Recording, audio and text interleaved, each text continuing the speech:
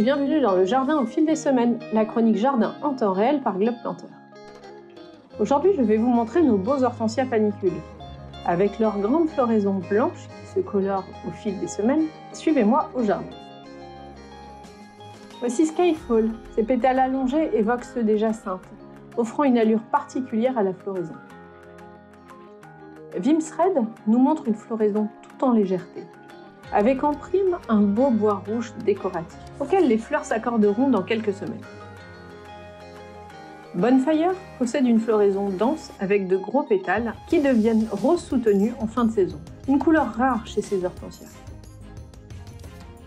Très compact, Little Fresco n'en est pas moins robuste, supportant aisément les grosses panicules de fleurs.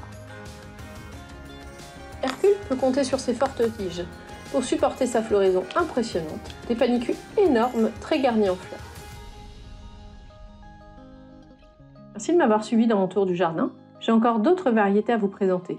Je vous retrouve la semaine prochaine pour la deuxième partie. À très vite